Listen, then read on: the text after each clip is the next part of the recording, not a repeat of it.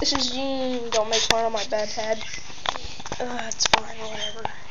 Okay, here I'm going to show you guys how how to get onto uh, how to use your EyeToy as a webcam.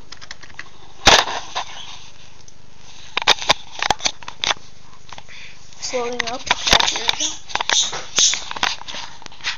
Okay, here we go. www.http that thingy slash slash www.iplayplaystation.com slash eyetoy hyphen as hyphen webcam.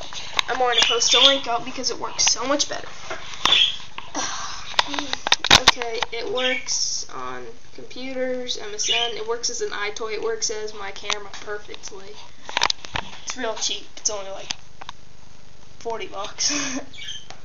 um, okay, you're going to choose your driver. It's going to automatically say over here, found new hardware, Namtai EyeToy driver, that, I mean Namtai EyeToy. That's what mine was. And you're just going to follow these simple instructions. Works out really well. Oh yeah, and forgot to mention, once you download the driver, I didn't really download it, I just opened the file. Make sure you drag the file. Crap. Minimize. I'm not going to X out of this. Okay, once you download the file, what you're going to basically do is drag it to like where your icons are, like, you know what I mean, because that's the only way to unzip the file. And if you don't know how to extract zip files, you just read that. It's perfect. You should definitely try it if you have an EyeToy.